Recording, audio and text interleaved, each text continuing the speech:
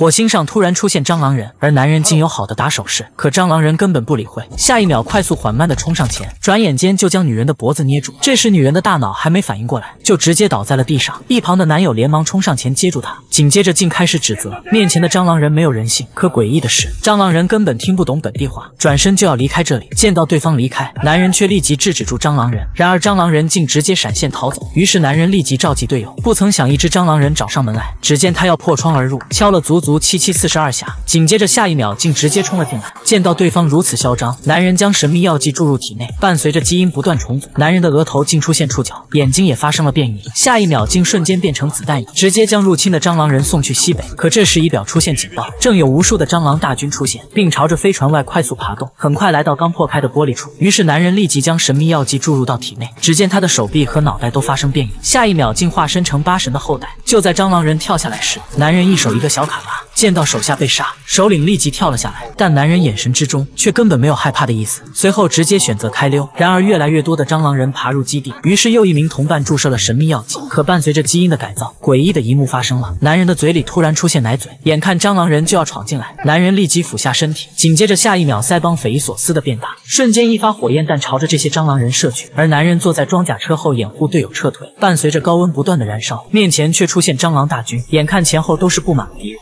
这时装甲车竟直接开进蟑螂群里，而变异人丝毫不敢懈怠。可就在冲出蟑螂群时，变异人还没来得及休息，只见他再次鼓起嘴巴，火焰瞬间射出。可这时装甲车里的女人却发现不远处正有第二波蟑螂人快速逼近，于是女人二话不说注入变异药剂，紧接着另一名同伴紧随其后，而他们要挡住蟑螂人的攻击。只见蟑螂军团正在眼前，这时男人再次喷出三味真火掩护队友，随后两名同伴立即摆出抵御的姿势，并观察着这些蟑螂人的一举一动。随后装甲车快速冲入蟑螂群内，然而敌人的数量实在太多，险些让他们喘不过气来，但他们仍拼尽全力冲出蟑螂军团的阵型。下一秒，装甲车开始原地倒飞起来，瞬间女人也被甩飞了出去。而这剧烈的疼痛还没让两人反应过来，伴随着装甲车的不停翻滚下，所有同伴都顿时陷入了昏迷状态。可这时装甲车见到没有驾驶员，竟开始自行启动运行模式。殊不知还有人没有上车。等女人冲昏迷中醒来时，不曾想一群蟑螂人正朝着他们缓慢迅速走来。懵逼的女人有点懵逼，她知道一定会被蟑螂人玩弄致死。只见一只蟑螂人迎面走来，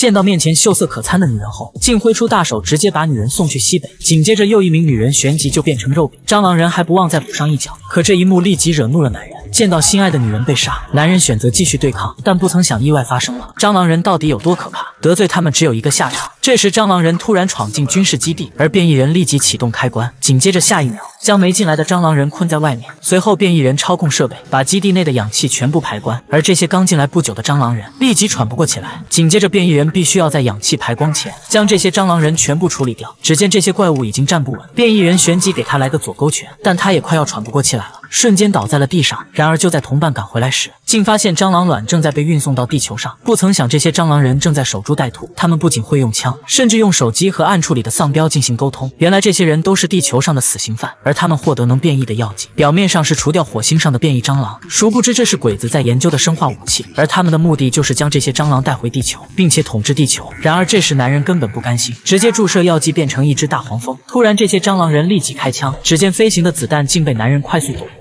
紧接着，他下一秒原地跳起，并伸出倒刺，变成大雀蜂的男人异常凶狠。一旁的女人见状，立即注射药剂，瞬间变身成一只蝗虫。在他们的配合下，蟑螂人很快被处理差不多。然而几人不知道的是，这是丧彪的调虎离山之计。他们真正的是将二代蟑螂卵带回地球，而丧彪准备把蟑螂的基因和人类的基因结合，以此来变成地球上最强的生物武器。可突然，蟑螂卵竟开始孵化，下一秒直接变成成年的蟑螂宝宝。女人见到情况不妙，立即给体内注射变异药剂，而她的变异能力是能。通过毒素来控制这些蟑螂人的行动，可伴随着毒针的拔下，女人却惊恐的发现，这两只蟑螂人已经再次进化，早就摆脱他们的掌控。而这一幕被身处暗处的丧彪发现，殊不知此时的火箭已经开始发射。这时蟑螂首领见状，立即用声波来告诉手下离开这里。而这些蟑螂见状，纷纷扇动着翅膀，开始全部都粘附在火箭上方，准备一同前去统治地球。然而飞船却突然出现故障。竟开始原地下降。等蟑螂大军准备前去查看时，不料眼前出现三个人类。随后首领一声令下，准备将他们全部抓起来。可这时三人直接将变异药剂注入到体内，下一秒他们竟全部发生了变异。见到手下已经倒地，这让已经发生进化的首领立即上头，直接给男人迎面送上一拳。